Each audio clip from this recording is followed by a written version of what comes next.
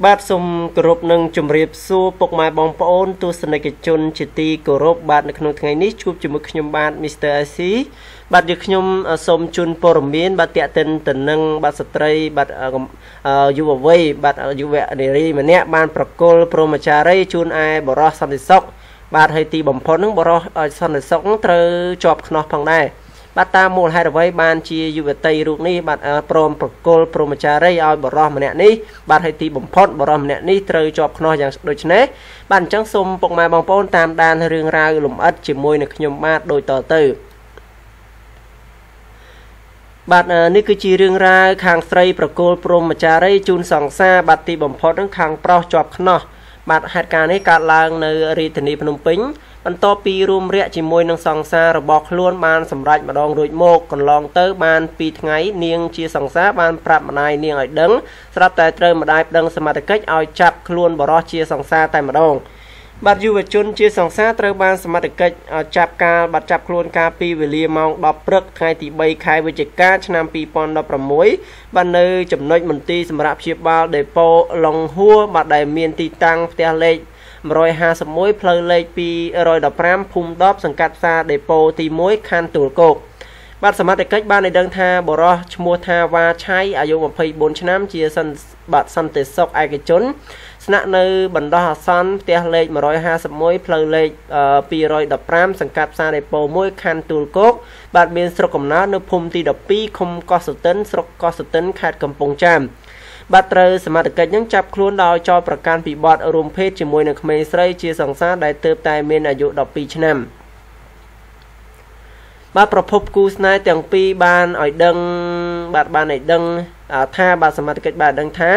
បាទឲ្យគេទាំងពីរនាក់មានតំណែងតំណងស្នេហាជាមួយគ្នារយៈពេល1ខែហើយបាទដោយខាងស្រីតែងតែមកអង្គុយលេងជាមួយខាងប្រុសដែលយាមនៅមន្ទីរសម្រាប់ព្យាបាលដេប៉ូឡុងហួរជាញឹកញាប់ បាទគូស្នេហ៍ទាំងពីរបានឲ្យដឹងទៀតថានៅវេលាម៉ោងប្រហែលជាម៉ោង6ថ្ងៃទី1ខែវិច្ឆិកាឆ្នាំ2016 ដោយមានការព្រមព្រៀងគ្នាបរិជាសង្សារបាននាំក្មេងស្រីជាសង្សារទៅរួមរយៈគ្នារហូតដល់បានសម្រេចម្ដងនៅផ្ទះម្ដាយមីងនៅម្ដុំផ្សារអូរស័យបាត់ហើយសង្សារក៏ត្រូវម្ដាយនាងប្តឹងសមត្ថកិច្ចឲ្យជួយអន្តរាគមចាប់ខ្លួនបរិជាសង្សារតែម្ដងបាត់ក្រោយពេលចាប់ខ្លួនបរិជាសង្សារត្រូវបានឃុំខ្លួនជាបណ្ដោះអាសន្ននៅអធិការដ្ឋាននគរបាលខណ្ឌទួលគោកដើម្បីធ្វើការសាកសួរបាទនឹងសាងសង់ បាទសូមអធិស្ឋានបាទនឹងកសាងសំណុំរឿងបញ្ជូនទៅតុលាការចាត់ការទៅតាមនីតិនៃវិធីនៃច្បាប់បាទអញ្ចឹងហើយនេះគឺជារឿងរ៉ាវមួយខាងស្រីស្ម័គ្រចិត្តបាទជូនខ្លួនប្រានទៅដល់ខាងប្រុសបាទហើយខាងប្រុសមានអាយុទៅដល់24ឆ្នាំបាទហើយខាងស្រីមានអាយុត្រឹមតែ12ឆ្នាំតែប៉ុណ្ណោះបាទហើយអាយុតិចពេកដល់ពេលខាងស្រីប្រាប់ម្ដាយទៅខាងម្ដាយគេគេមិនព្រមទទួលយកខាងប្រុសឡើយ បាទក៏សម្រេចចិត្តប្តឹងសមត្ថកិច្ចដើម្បីឲ្យចាប់ខ្លួនឲ្យជាប់ទោសទៅតាមផ្លូវច្បាប់ផងដែរបានអញ្ចឹងហើយខាងប្រុសគួរតែពិចារណាផងក្មេងស្រីទោះបីជាជាសង្សារក៏ដោយប៉ុន្តែវាក្មេងមិនទាន់គ្រប់អាយុបាទឪពុកម្ដាយគេក៏មិនព្រមដែរទើបតែមានអាយុ12ឆ្នាំសោះបាទហើយដល់ថ្នាក់ហ៊ានធ្វើដូច្នេះ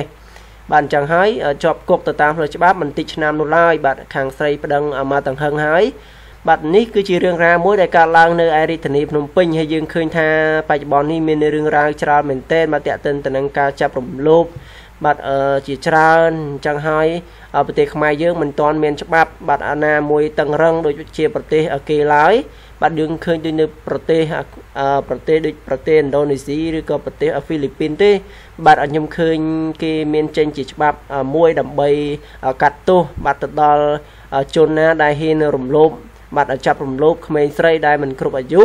បាទនឹងជាប់នឹងប្រឈមមុខជាប់ទោសបាទជាប់ទោសគឺគឺដាក់គេដាក់ទោសហើយគេមានការគ្រាវបាទមានការគ្រាវគ្រាវបរោះនោះផងដែរដើម្បី